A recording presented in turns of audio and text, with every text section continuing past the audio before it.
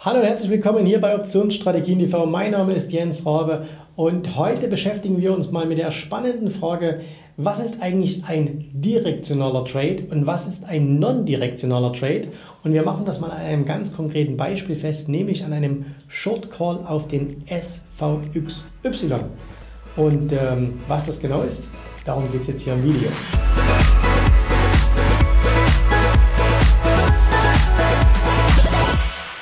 In den letzten Tagen hatten wir hier auf dem Kanal ein Video veröffentlicht, wo es darum ging, wann ich den VXX und wann ich den UVXY handle. Ich mache euch hier mal noch einen Link zu diesem Video äh, mit rein. Das heißt also, wenn ihr das Video noch nicht gesehen habt, dann schaut euch dieses Video gern noch einmal an. Und äh, in den Kommentaren zu diesem Video wurde ich dann gefragt, dass, oder wurde geschrieben, Mensch Jens, verstehe ich, alles klar, aber warum habt ihr denn dann gerade bei der doch relativ niedrigen Volatilität einen Short Call auf den SVXY geschrieben?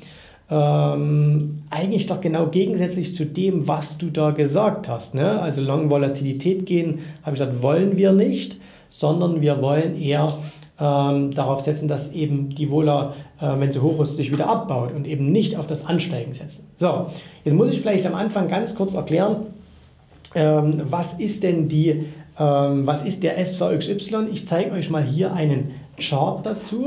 Äh, der SVXY ist ein ETN, der die inverse Entwicklung des S&P 500 WIX Short-Term Future Index darstellt. Und zwar die inverse Entwicklung. So, jetzt müssen wir überlegen, S&P 500 WIX Short Term Future Index. Was ist das überhaupt? Also der ähm, Volatilitätsindex oder Volatilitätsfuture Index ist im Grunde nichts anderes, als dass gesagt wird, okay, was wäre denn, wenn man immer die ersten beiden Volatilitätsfutures long geht und äh, die dann immer rollt. Ihr wisst, das wird versucht mit dem VXX abzubilden und äh, der SVXY ist quasi das Umgekehrte, ne? also das Inverse. Es wäre also so, als würde man die ersten beiden Volatilitätsfutures immer short gehen und das bedeutet, wann steigt der SVXY?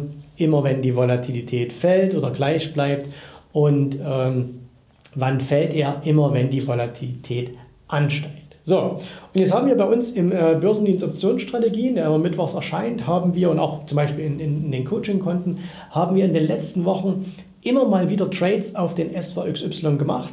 Unter anderem haben wir eben da zuletzt einen Short Call empfohlen. Und die ganz konkrete Frage war jetzt, wir sagen ja, wir wollen nicht die Volatilität long gehen.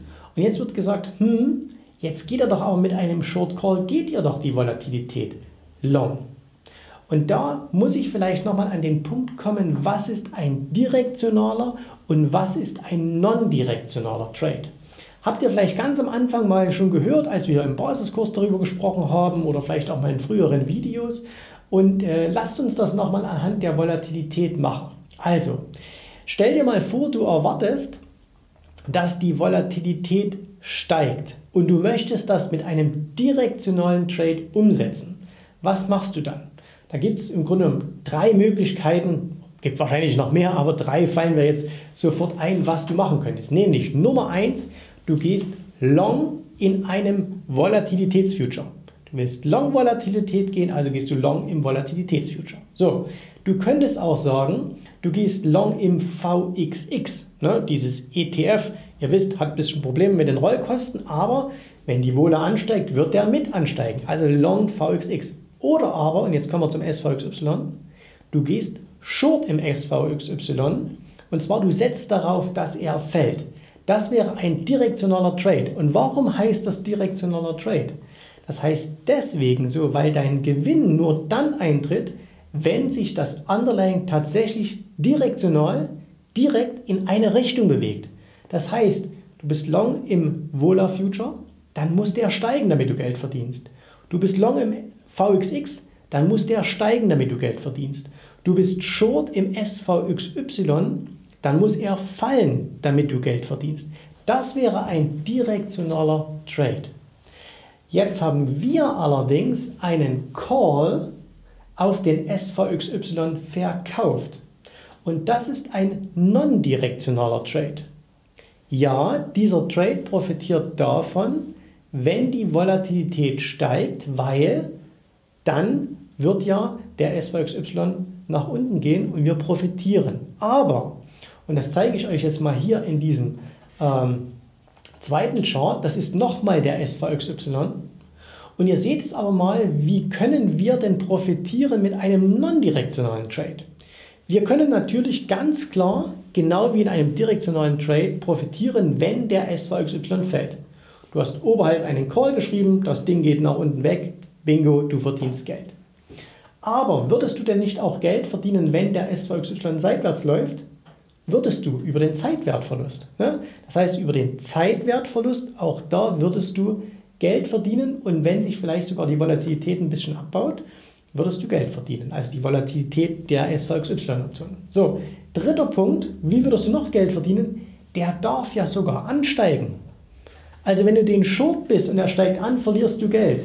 Wenn du aber einen Call darüber geschrieben hast, einen non-direktionalen Trade gemacht hast, dann darf der sogar leicht ansteigen und du wirst immer noch Geld verdienen. Warum? Zeitwertverlust. So, und der einzige Fall, wo du kein Geld verdienen wirst, ist, wenn er sehr steil und sehr schnell ansteigen wird, dann kommst du mit einer Short-Call-Position in die Bredouille. Das heißt also, es gibt lediglich von vier Möglichkeiten, gibt es lediglich eine, die dafür sorgt, dass du verlierst, aber wie soll ich es jetzt zeigen? So, aber drei, wo du gewinnst. Ne? Und das ist immer der Vorteil von non-direktionalen Strategien. Es gibt mehr Chancen zu gewinnen von der Richtung her als Chancen oder Risiken zu verlieren. Natürlich, wenn du direktional handelst, du bist SVXY äh, short und jetzt fällt ja 50 Prozent, ne? dann machst du den großen Reibach, dann verdienst du richtig gut. Das ist Checkbot-Denken. Nicht verkehrt, aber nicht unser Ding. Wir dagegen sagen, Prämie verkaufen, relativ sicher diese Prämie kassieren in drei von vier Fällen und uns nur um das kümmern, was wir können, nämlich das Managen von Positionen.